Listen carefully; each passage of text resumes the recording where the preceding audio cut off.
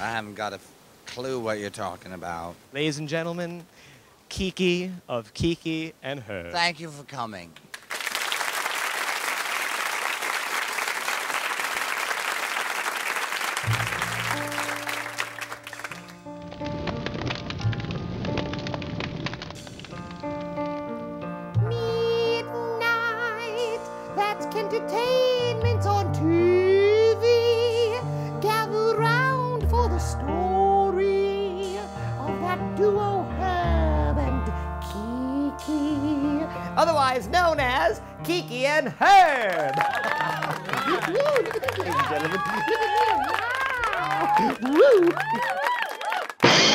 Howdy, folks. It's Ken here from That's Kentertainment. I know. How do you like my rap? Ooh. You see, what I'm doing tonight is, is we're having sort of a storytelling uh, half hour, and uh, I thought it would be appropriate to put on a robe and, you know, have some hot cocoa. It's kosher. Take that, Mel Gibson. and just have a good old time and, you know, gather around old friends like Pancho Joe and Mr. Clown. Hi, hi guys, how you doing? Hi, Ken. And tonight, we are featuring those new stars of Broadway, Kiki and Herb. We've been on the comeback trail ever since, and it led us to this right, very spot right here on the stage of the Helen Hayes Theater on Broadway. Ah, thank you very much. They have a limited run show over at the Helen Hayes Theater, and you better go run and see it fast because they got some of the best, most rave reviews of the year. Can you believe it? We're a hit! So don't miss this legendary musical duo-some.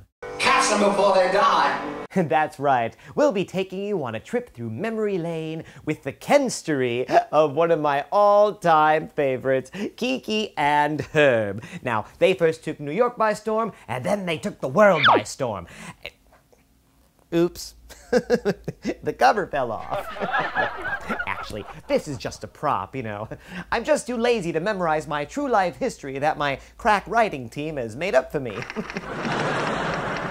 Let's start the story. when I first moved to New York, I caught this double performing one of their terrific downtown cabaret style shows and was immediately wowed and terrified all at the same time. Sort of like when Liza tried to clock me with a microphone. Can, you're, you're awfully close to me. I'm worried. Or told me she liked my show. And I loved the show. Or hit those high notes and God bless the child. Soon I was shocked to see that the sort of punk cabaret dyad would be performing an off-Broadway show entitled Kiki and Herb, Coup de Theatre, or however you say it. Welcome to our Coup de Theatre. It was during this time that we first met. Hi, we're Kiki and Herb. And you're watching That's Kentertainment. And it turns out they weren't so terrifying after all. You're so nice. Who knew? yeah, who, no, who knew? Just terrifyingly talented. Mommy's alright. Daddy's alright. Just get a little. Just get a little Don't give yourself away.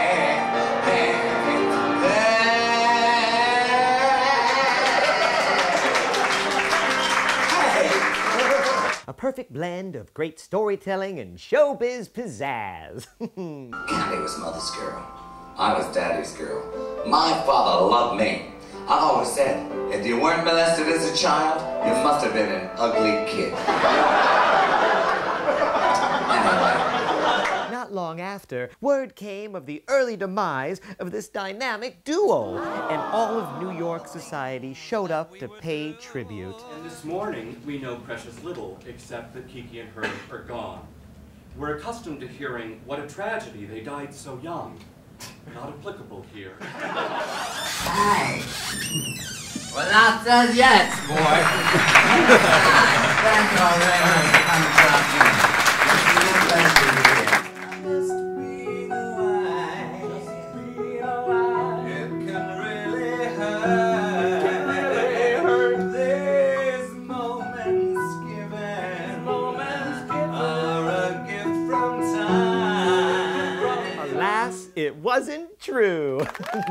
Probably just some ruse to keep the creditors off their backs. You know, that's how you do it in New York. Pretend you're dead, or in my case, just do a weekly cable access show. Same difference.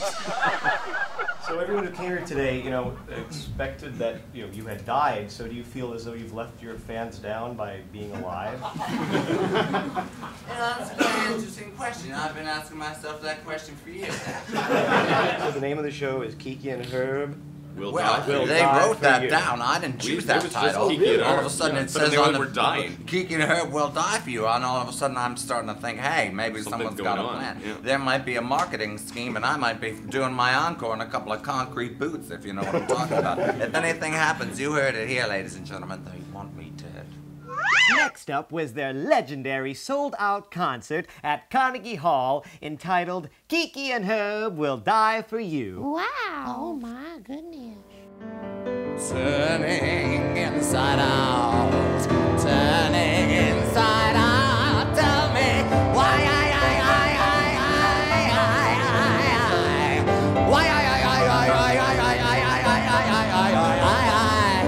These are becoming red. These are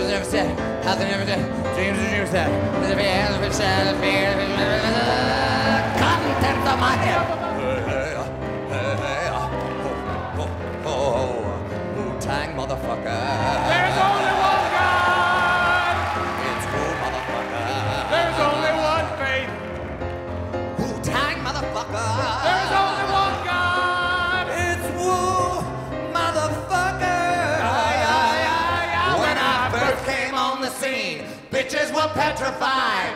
Oh, my friend, we're older, but no wiser.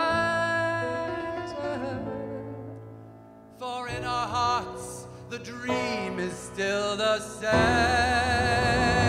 Those were the days, my friend.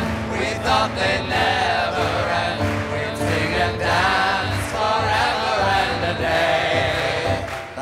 amazing. The Carnegie Hall, I mean, it's nice. Did you ever think playing someone's basement several years ago, suddenly now Carnegie Hall? It was the only performance I ever did where I wasn't nervous because I felt like I was destined. It was the, my life was exactly where it was supposed to be at that moment. Every person I love in my life was in the room, and if they weren't there, I don't love them. Or they're dead. They're dead to me. you know, the fact that they made it here shows that um, if you stick around long enough, you'll make it. But it was to be a short lived reunion, as Kiki and Herb were contractually obligated to die after the performance. We don't want you to go anywhere, but I know you got your life to do and all that. So, any any part? Just remember, Got Je- our life just, to do. Yeah, just remember Jesus came back, and so could we. Kiki's definitely got a messiah complex. Yeah. Any last words then for your fans? We Thank love you. you. We love you. And if I only could, I'd make a deal with God, and I'd get him to swap our places. I'd be running up that road, I'd be running up that hill, I'd be running up that building.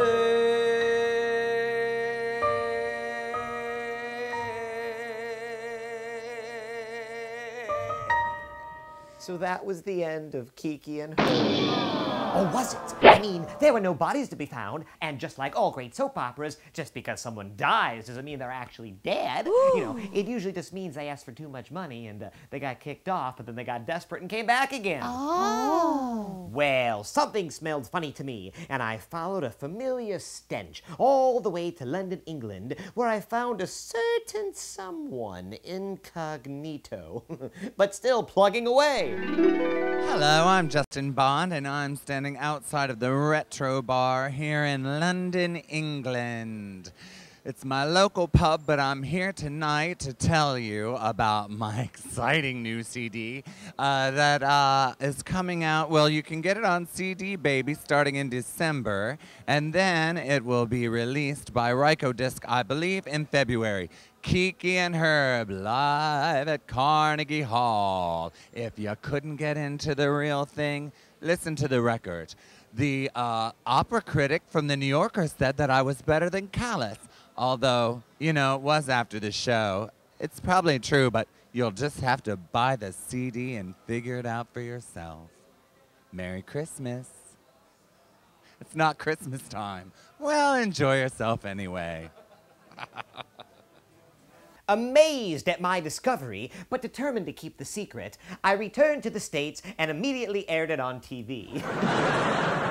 this then led me to the trial of her. Oh, oh trail. There's a typo in here. Crack writing team.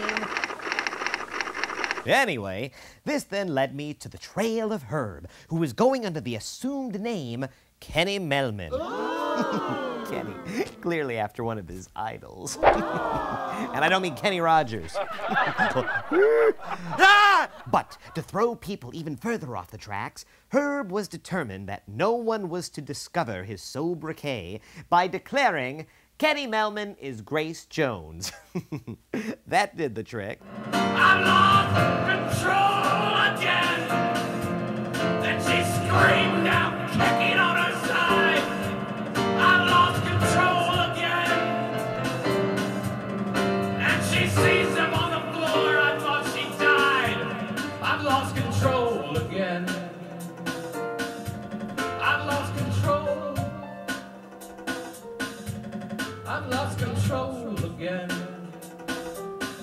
Then, the day came for the release of the Kiki and Herb at Carnegie Hall CD. Now, word started getting out that there would be a special surprise at the CD listening party.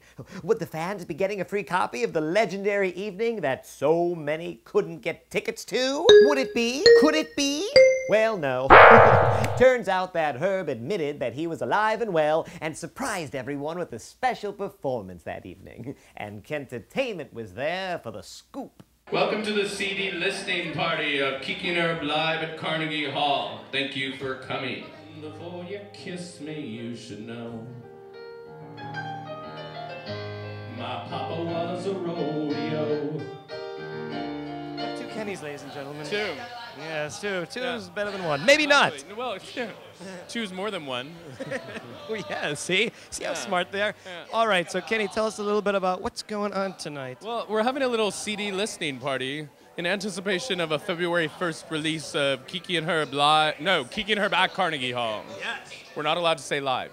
Why is that? Carnegie Hall says no anymore. Like for some reason, after like the 1970s, they said no one can say live at Carnegie Hall. Really? Yeah. So if actually little things you learn when you try to put out a CD. Well, I'm friends with Justin and Kenny, um, and uh, and have been big fans of them for a long time. Um, and Victoria Leacock, who produced the uh, the album, or the disc, I should say, uh, is my best friend. And as the evening wore on, there were even more surprises.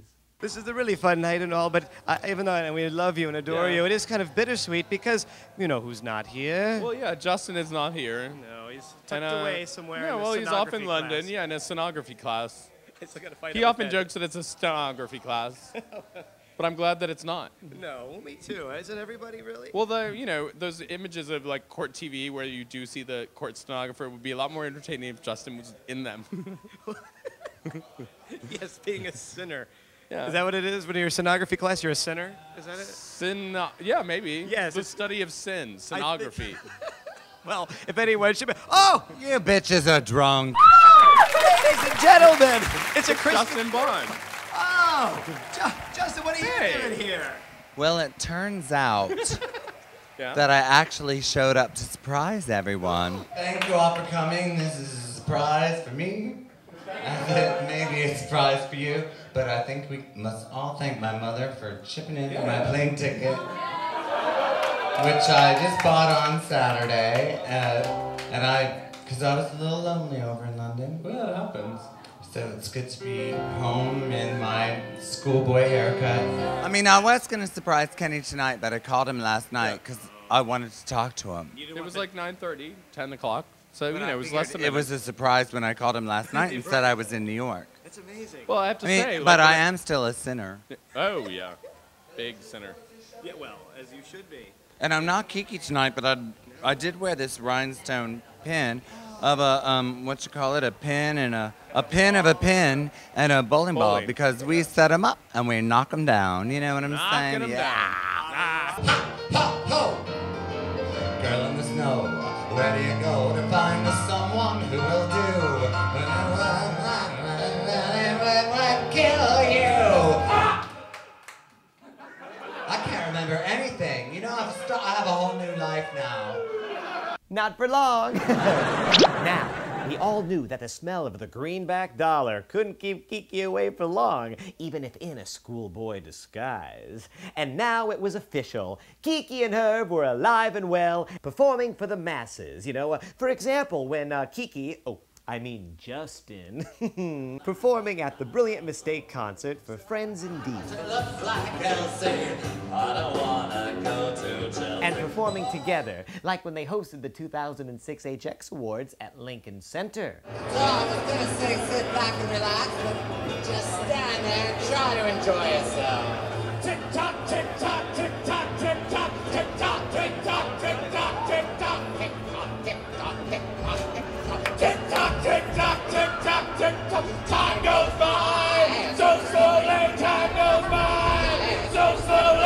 Hello, Kiki. How are you? Hi, sweetheart. I'm fantastic. How are you? I'm doing great. Well, much better after seeing your marathon uh, award show tonight. Thank you. You're a fantastic presenter. For Best Play and Best Musical, uh, Ken Kleiber, uh, That's Kentertainment, an old friend of Grammy winner. That's entertainment. And Jeannie Love from Project Runway.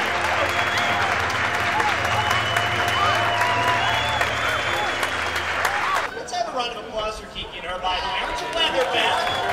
They're back! Ladies and gentlemen. We thought you was dead. Yes. Now, speaking of dead things, we're here to present the award for Best Theater. Thank you very much. Yeah, nothing like saying theater's dead to get the crowd going. And then naming a lot of shows that no one ever heard of. if they've been out more. Well, now, speaking of shows, wow, what a segue is this? I understand you're going to be coming to the Broadway. That's what they say.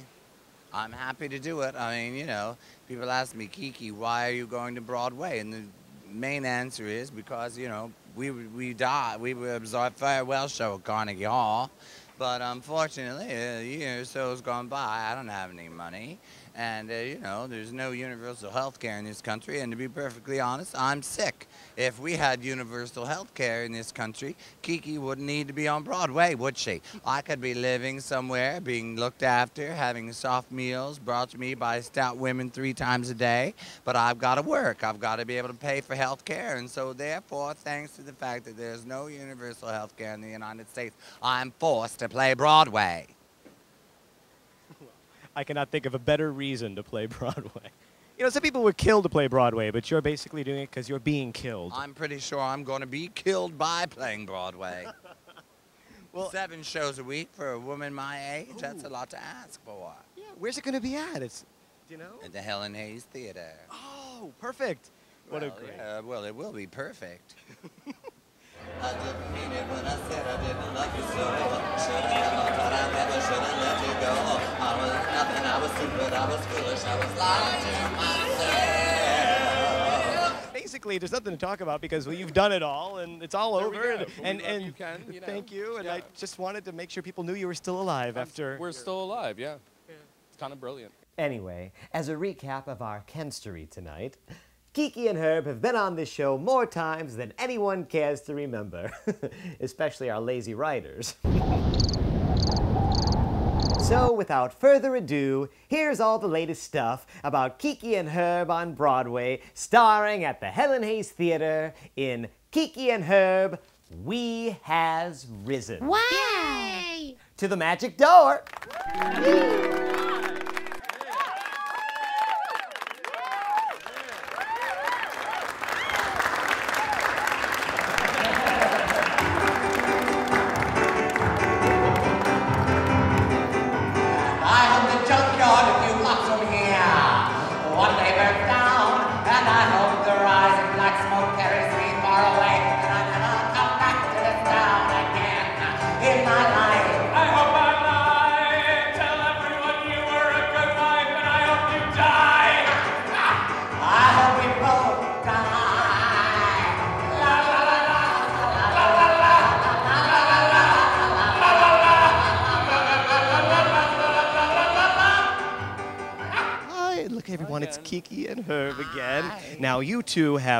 Off, and now you're going on. Did you ever think you'd be playing the Broadway? I'm always going off. I can't help it. It's part of why I have to be on medication.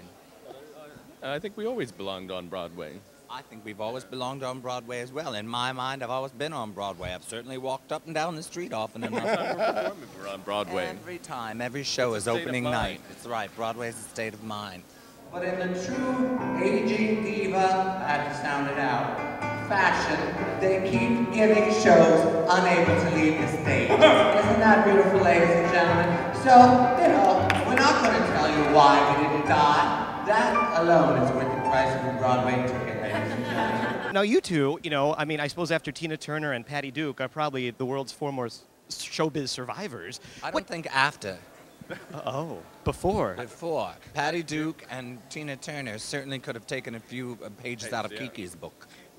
What do you attribute to your longevity through the? You've transcended the ages and the sounds of the I think we ages. just got lack of health care. You just got to keep going. I've had my leg chopped off and it just grows back.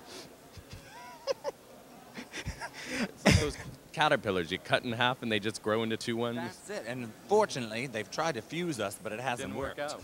Can you imagine no legs, just a Kiki and Herb torso and head stuck together in the middle? Wouldn't that be awful? be awful. Be like It'd be a some good sort of crazy rattle. Yeah, we'd be good. You know, be on. The di- I don't think we'd be on Broadway. We'd be on a different circuit in that one. That's right. Now, coming back onto Broadway, I mean, you two have pulled off a feat that only I think Jesus Christ himself have pulled off, coming back from the dead. And you smell better, from what I hear. Oh no, don't get too close. We Well- smell better than Jesus. Thank you, sweetheart. Oh, you should put that on your lovely? posters. Smells Kiki and better Herb smell better than Jesus. Ken Kleiber. That's nice. And you said, this is the first day of my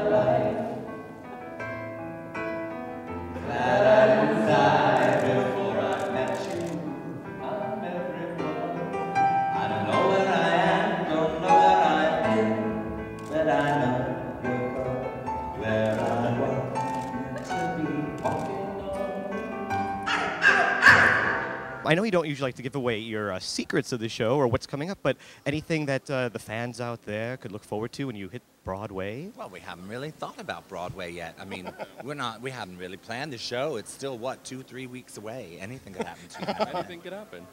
All right. Yeah. There you go, ladies and gentlemen. We They s- might end up doing it live via satellite from Beirut. Exactly. Oh, yeah. They yeah. might need us other places.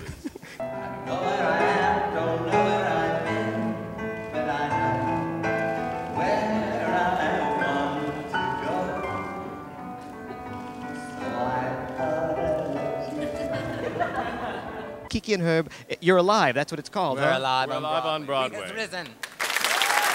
Forever young. I want to be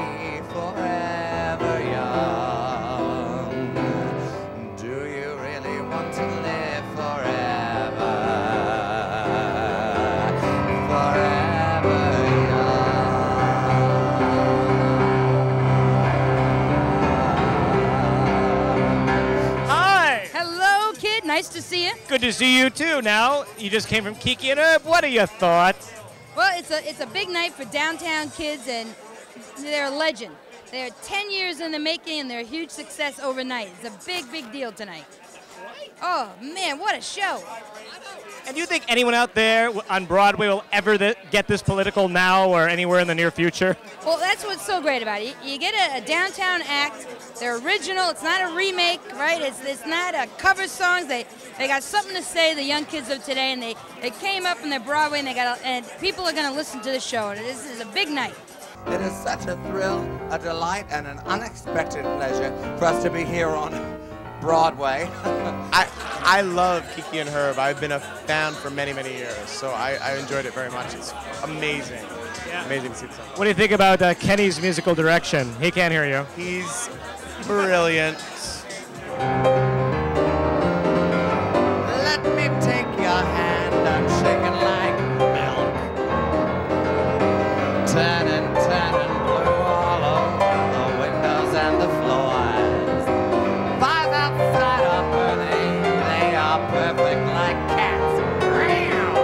God, we saved the best for last. Oh, ladies and gentlemen, Kiki and Herb. It's so hot in here, the hottest night on Broadway, apparently.